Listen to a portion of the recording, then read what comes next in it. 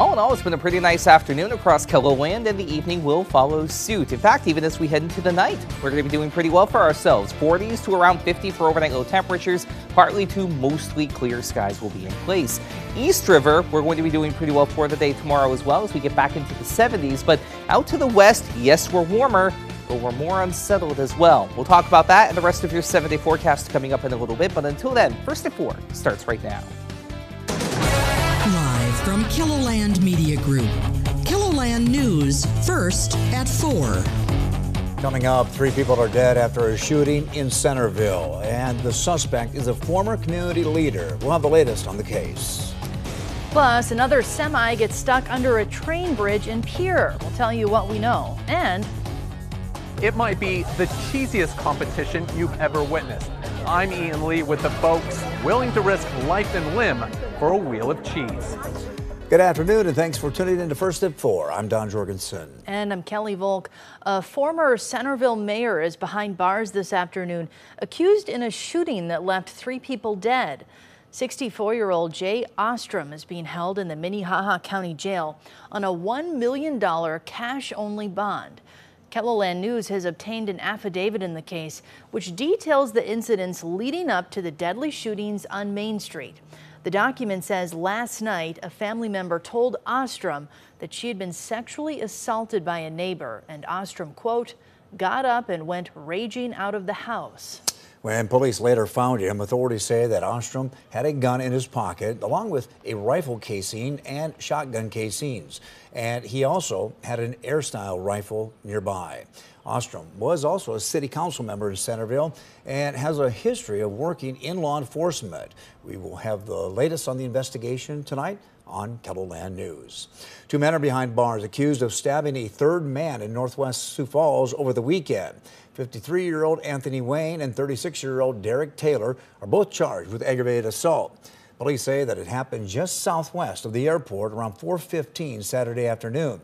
Authorities say that they believe one man held the victim down while the other stabbed him. The victim suffered wounds to his chest, neck, and head. He was taken to the hospital with non life threatening injuries.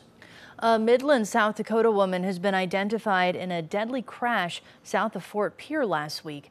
Authorities say it happened in the area of War Creek Road and 286th Avenue around 1 o'clock Friday. A car was westbound when it went into the ditch. It rolled and stopped on its passenger side. The driver, 63-year-old Barb Ann Stozer, died from her injuries. The South Dakota Highway Patrol is investigating the crash. One man suffered minor injuries after a motorcycle crash south of Lead on Memorial Day. The uh, Lead Volunteer Fire Department says that it happened just before 9 o'clock last night. Arriving crews found the man had been thrown from his motorcycle after hitting a deer on the highway. Officials say that he was wearing a helmet. In Pierre, the train bridge over Pierre Street has added another semi to its collection. Uh, yesterday, the fully loaded cattle trailer made it more than halfway under the bridge before it got stuck. A second cattle trailer was brought in to haul the animals away. The Huron man was given a warning for a truck route violation. Northbound Pierre Street was closed for around 90 minutes. Wow, that uh, bridge has collected a few semis over yeah, the years. Yeah, it's seen a it? few crashes in its day. Yeah, all right. Let's get a look at our weather forecast. Saw some sunshine today after kind of a wet weekend there. Adam? It was a beautiful afternoon. Know, we had a couple of showers in the morning, but now the sun was able to move on in, and we've been treated to a pretty nice second half of the day, really across the entirety of the area. And that starts with our view from our camera at Falls Park. A great afternoon to get outside if you can. 70 north wind at 11 miles per hour. Just some fair weather clouds above the city and that is really just about it. That's as close to a 10 out of 10 sort of afternoon in Sioux Falls as you can get. And we're also looking good out west. There's a view from our camera in Deadwood. Crystal clear skies above. Just a nice breeze out there to make it feel a little more comfortable. We're at 66 though in Worthington, Aberdeen at 68, 74 for Chamberlain as well as Pierre. We'll throw in Rapid City as well, 72 in Spearfish, 65 though as you head toward Custer, 64 Sisseton, Watertown sitting at 63. It's been a bit breezy at times at 10 to 15 miles per hour in many locations in central and eastern KELOLAND out of the north, so it's been a cooler breeze. Out to the west, kind of light and variable at times, trying to come out of the east as we go through uh, the rest of the afternoon. But yeah, there is just absolutely nothing going on right now for miles across KELOLAND, at least not beyond the aforementioned fair weather clouds that have been billowing up, but there really is just no instability to support anything else beyond that for now. As we head toward tomorrow, that's going to change, but even then, it's not for everybody. Beautiful weather for southeastern and northeastern KELOLAND for that matter on Wednesday, with temperatures mainly in the low to mid 70s. But as we head farther to the west, we do have the potential for showers and thunderstorms to fire up,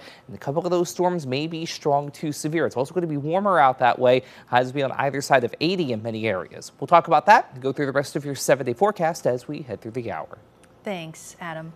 As the school year comes to a close, many kids are looking forward to summer, but for some students in southwestern Iowa, their plans look a little different because of a tornado. Katrina Markle with our CBS affiliate in Omaha explains. It looks like a typical end of the year party here at Tri Center Community Schools, and in a lot of ways it is. But there's more going on under the surface. I'm your Southwest Iowa neighborhood reporter, Katrina Markle, and I'm here because this is where a lot of the kids who were displaced by the Minden tornado go to school. Snow cones and pizza were on the menu for the last day at Tri Center. But for the students and staff who went through the Minden tornado, it's going to be a different summer. I sat down with faculty and students to check in four weeks after the storm. 10 year old Easton Haggerty loves baseball, but the Minden ball fields are gone. What are your plans this summer? Moving into a new house, going to the Creighton Blue Jays baseball game, playing with friends. Well, I'm most happy about moving into a house because I don't want to live in a hotel anymore. Michelle Huber, the school counselor, and Jean Johnson, the social studies teacher, also lost homes. I feel like our kids are super resilient and probably handle it better most days than I do. Being with the kids has actually been a very positive thing for me. So I'm, I'm I'm a little nervous next week, you know. Superintendent Angela Huseman says now is when it gets harder. We're looking and every time you go into Minden, you see all the houses with tarps on the roofs and you see trees that have no leaves and now you're looking at the long haul. And speaking of long hauls, she's been driving to Carter Lake, approximately 40 miles, to pick up Easton and his brother for school. It's like one big family. we are, yep. It's stressful for the kids, too. I've lived in Minden my whole entire life, so everything that's been there and it's all just destroyed. It's just kind of like guilt that like some of your friends don't have like aren't living there anymore but like your house was still okay. But this day, the pain is put aside and this community can smile before they get back to work. I'm really grateful that everybody came together and helped everybody through this. At Tri Center Junior Senior High outside Neola, I'm your Southwest Iowa neighborhood reporter Katrina Markle.